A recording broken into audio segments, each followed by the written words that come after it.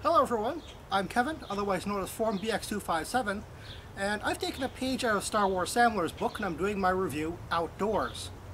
It's warm, it's obviously very sunny, so it's perfect for doing a Zartan review.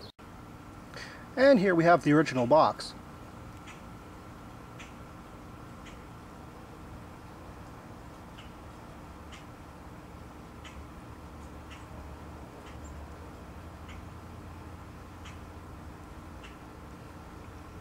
You'll note the uh, file card has the term paranoid schizophrenic on here and I believe some mental disability agency or organization had a problem with that so Hasbro changed that or, or rather just eliminated the text altogether. So there there are two versions of this file card. And here is Zartan the master of disguise He comes with a small pistol and a backpack which opens up.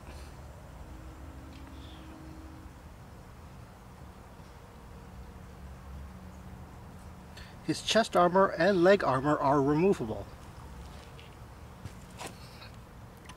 Let's a quick look at his pistol. Just a just a small pistol. Doesn't doesn't seem to be uh, a replica of anything. Now, of course, he wouldn't be a master of disguise if it didn't open up and reveal that he comes with a false face. There's also some, uh, I guess, disguise makeup sort of molded into the bottom here. Yeah, pop this off completely. And you can put the face right into the folds of his hood. And of course, he looks like somebody else wearing Zartan's clothes. And his chest armor, only the front pops off. And his thigh pieces pop off as well. They don't really click in, but the, um, I guess the friction tabs, they hold in rather well. Which is, rather, which is actually rather surprising. The reason why these have uh, these clear see-through, I guess, windows on both the thigh piece and the chest piece is because you're supposed to put thermal labels on here. And here is a set of thermal labels. Uh, they weren't removed from the uh, sticker sheet.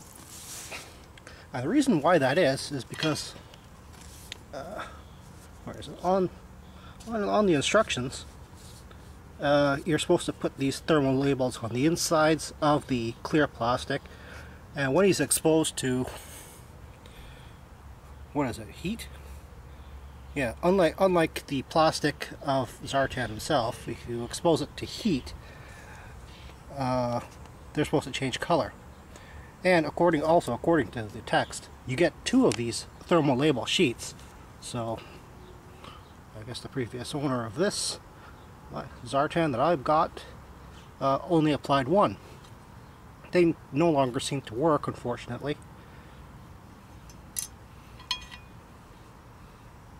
Zartan's just, just is changing blue, but his face is still remaining uh, a flesh color, which is a rather bizarre sight. Also of interest is the uh, Canadian file card, which doesn't leave room for the extra text. So I'm not sure if there was ever a second version of the Canadian file card which either included or removed the um, schizophrenic, uh, paranoid schizophrenic text. And here's Zartan on his swamp skier. The swamp skier is basically a uh, water jet, water jet ski, I guess.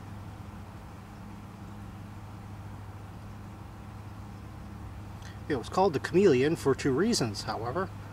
Not only did it change color, but it came with a box and this, um, I guess, tow rope or tow cable. And you can transform it into a piece of junk. No, I'm not kidding, you really could. The uh, front forks actually did swivel.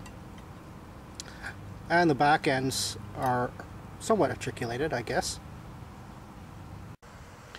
And here is Zartan with his disguise on and his supposed box of junk. As you can see, the Swamp Skier's skis actually do fit on the bottom of the box there to help him pull it along.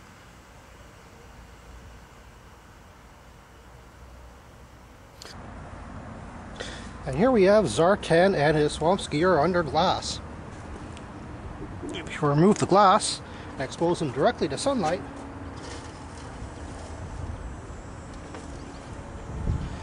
you can see Zartan changing color rather easily.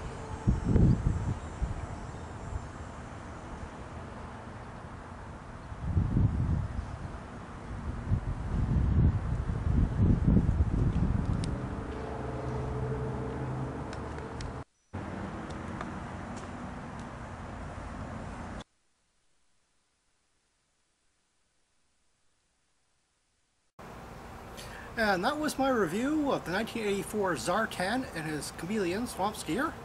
Thank you for viewing my review, and I'll see you next week with the next vintage G.I. Joe toy review.